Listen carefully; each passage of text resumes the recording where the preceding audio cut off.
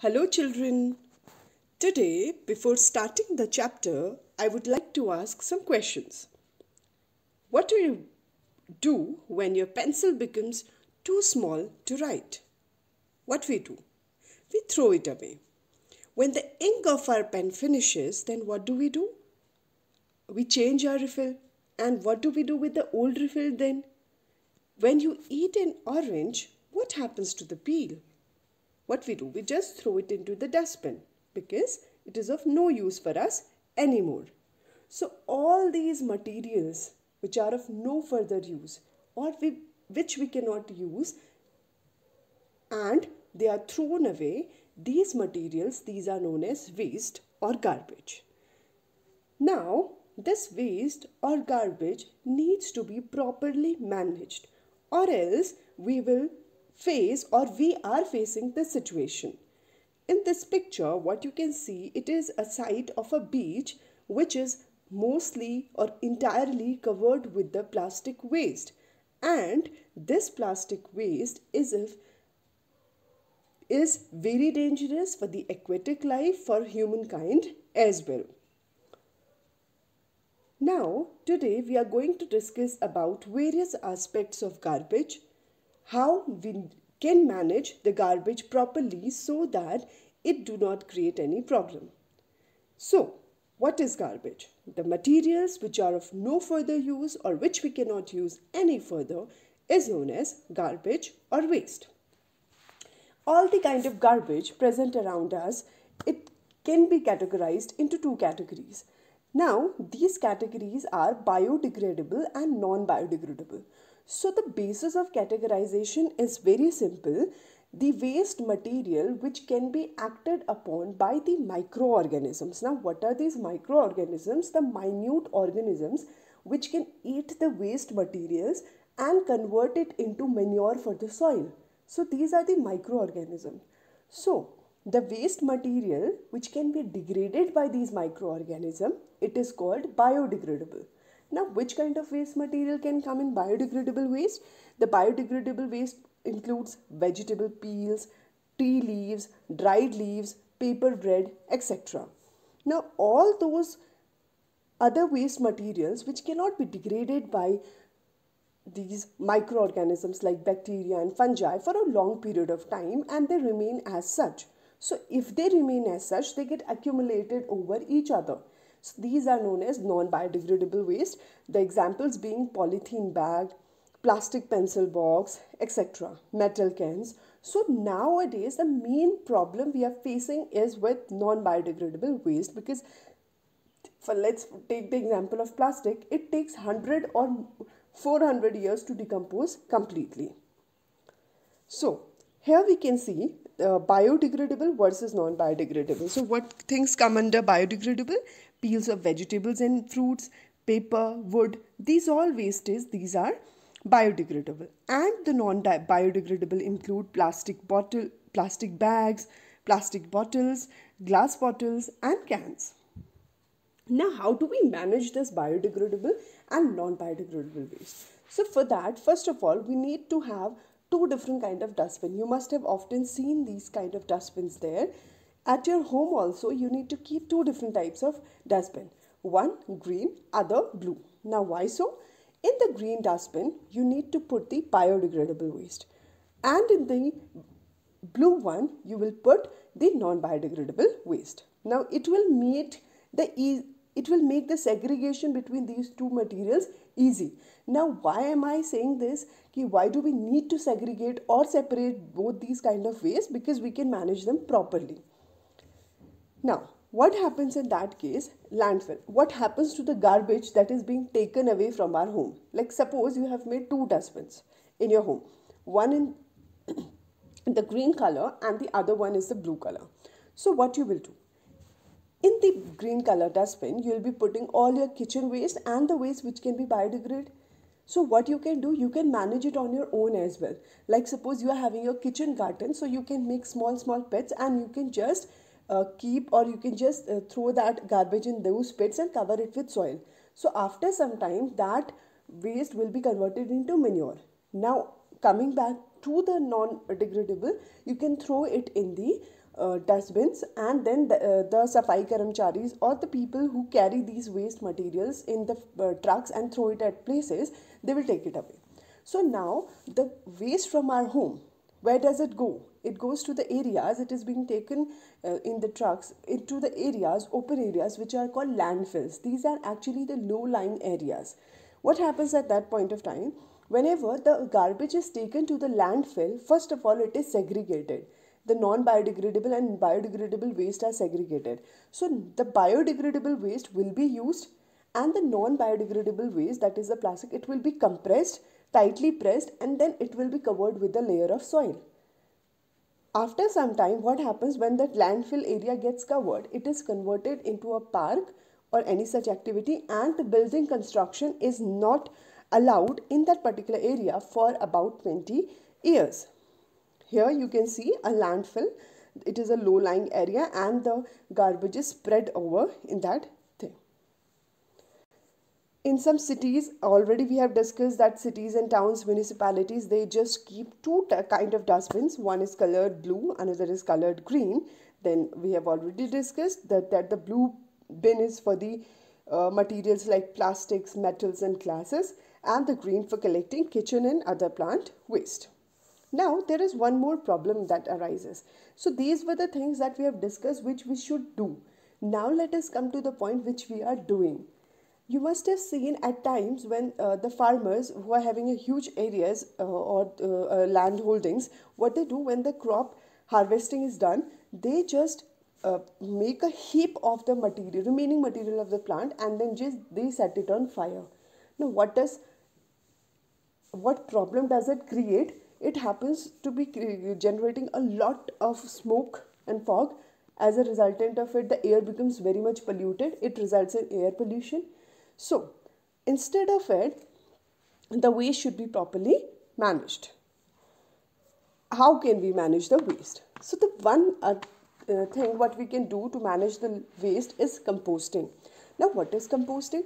Composting means the degradation of garbage by the action of microorganisms. We have already discussed the microorganisms are there which eat these garbage materials and then they convert it into manure with the soil. So it's become good for the crop. See, it was a garbage for us but it acts as a manure for the soil or the plants.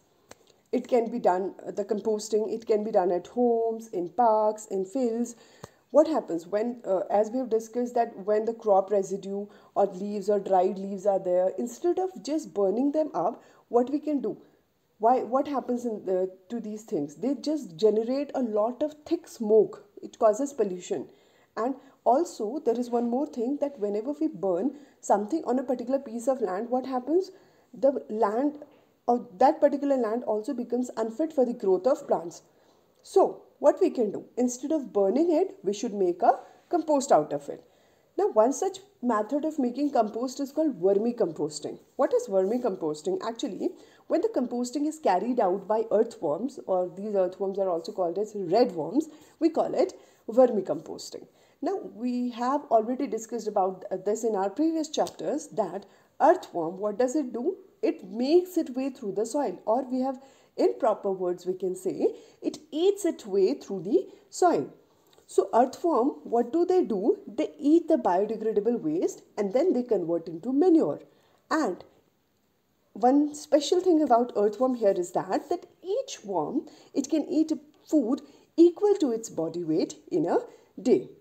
Vermicomposting, it is done in large scale in fields because it is cheap and easy method to obtain manure and at the same time it helps in getting rid of biodegradable waste. You can see here in the image the red worms. Next one is why should we recycle paper? So you must have seen about paper. What do you need to know about paper? That the paper is made from the pulp of trees. And what do we do? You must have done this. What what we do whenever, uh, suppose uh, I have made you write something in the piece of paper or you were writing on your own. So what do you do? When you see that it is not working in a proper way, what do you do? If you do, by mistake, you do anything wrong, what do you just tear the page apart? So we must understand that the paper which we are just throwing it away, it is made from trees and the trees they give us life they give us oxygen so majority of trees are being cutted down for making paper. So what we can do on our part? That we must use the paper judiciously in a proper way. And we must use recycled paper. Now why should i do this? Because the recycling of paper again it saves trees. Okay 90% paper is made from wood only. Recycling 1 ton of paper it can save 10 trees. Sorry 17 trees one third of trees which are cut are used to make paper and for every 1 ton of newspaper recycled you can save enough energy to power a television for 31 hours so see how much benefits are there you know what's the meaning of recycling recycling means the using of anything again and making it into a, such a situation or condition which can be used again. You must have used a recycled paper. It is slightly not bright as white color as a new notebook, but it is it can be used. You must have seen the rough notebooks which come in slightly blackish color.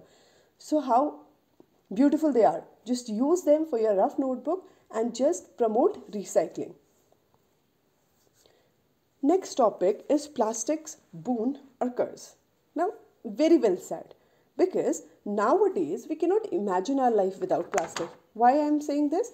Because it's very easily available, it is easy to manufacture, and it has become important parts of life. We cannot just imagine our life without it. Like, for example, let us take the um, articles in our home itself combs, brushes, switches, bags, watches.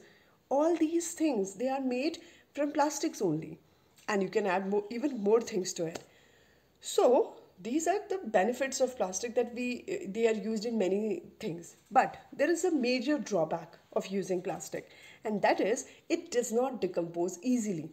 It remains there for like up to 400 years. It takes 400 years to decompose completely. So that is why only the plastic waste is such a major threat to our environment.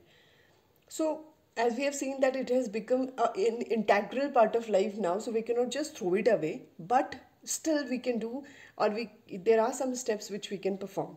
Like what are these? Reuse as many things as possible. Like suppose you are having a polythene bag so now you can reuse many times to avoid buying one more polythene bag in Next, carry paper or cloth bags. It is being advised that whenever you go out for buying grocery or vegetables or fruits, we must carry our paper or cloth bag.